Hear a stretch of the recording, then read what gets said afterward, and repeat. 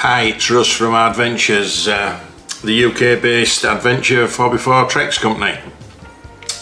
I, uh, I've been watching all the uh, press releases, the um, uh, blogs and everything about the Ineos uh, Grenadier for the last week and I did make a comment on Facebook within a few hours of it being launched uh, and, and the comment was I love the look of it. I thought it, it was everything anybody would like as an overlanding truck. My only negatives were and I'm not sure I actually mentioned the engine I'm not a big fan of BMW engines and I'll, I'll go into that in a minute or two. Uh, and, and the other thing is it's not that simple. You can build a vehicle you need an infrastructure you need a parts supply you know there's no point having that vehicle and traveling the world in it if you can't get what you need for it. You need a backup.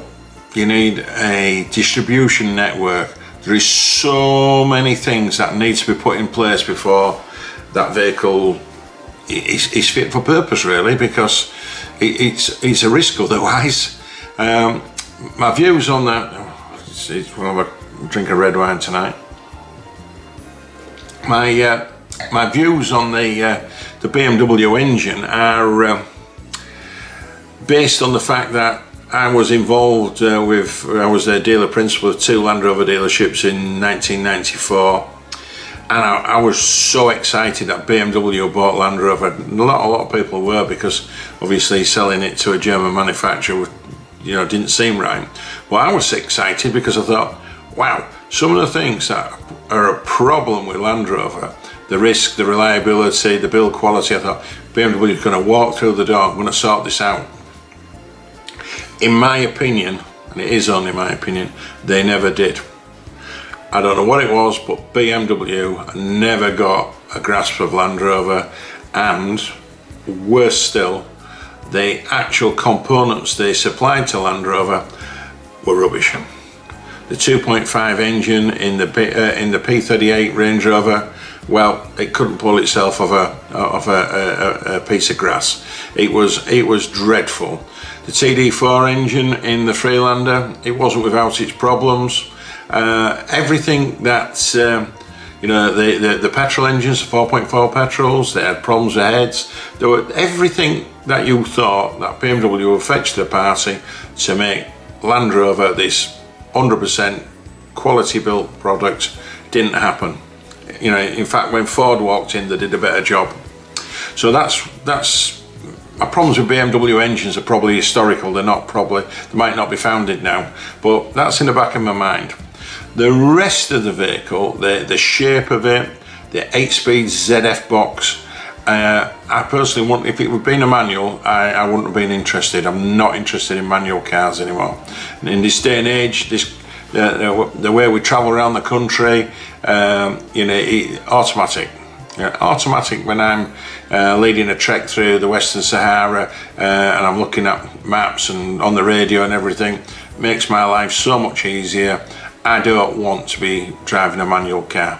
Anybody who takes a manual car uh, on a trek to Morocco or the Pyrenees, I just don't want to think how many times they change gear. So automatic and not just any automatic, that 8-speed ZF box is bulletproof. It's a fabulous gearbox. It's in Discovery 4s, 5s, it's in Range Rovers, it's in Jeeps, uh, it's in everything. It's the go-to gearbox. So that that's fantastic. Then you start looking at the suspension that they've uh, put into place. Well, they're using uh, the, the right people for that. Uh, you know, uh, the, um, uh, the, the manufacturers in Austria, the Pinzgauer, the six four-wheel drive military trucks. They've, they've designed the G-wagon.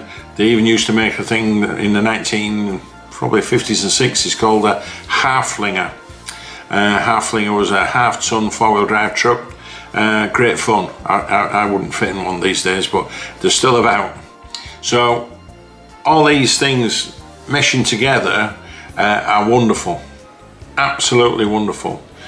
And, and I can't wait to drive one and I can't wait to own one. If I knew there was one going to be available in the next 18 months, I probably would cancel my order for a Defender 90 tomorrow. But I can't see them building them in, in that time. I'd like to be wrong, but if it's built in the next 18 months, that'd be absolutely amazing. Because at the moment, hang on guys, they launched a video, they launched all the feedback last week, it was all the bloggers in all the magazines, fabulous. And then, hang on a minute, we don't have a factory. Put a hold on, hold on Wales, put a hold on Portugal. People have mentioned Brexit, well that's rubbish because at the end of the day, Portugal's still in Europe, so and, and the engines and everything in Europe. So the assembly in the UK, I don't think that's a problem. I think at the end of the day, in the 11th hour, Jim Ratcliffe had a phone call from Mercedes-Benz saying, we have got a turnkey factory.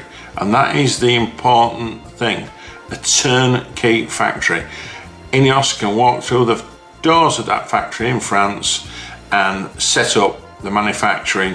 Probably I don't know I'm not a, I'm not an engineer but months and months and months in advance of Portugal, Portugal and, and, and Wales.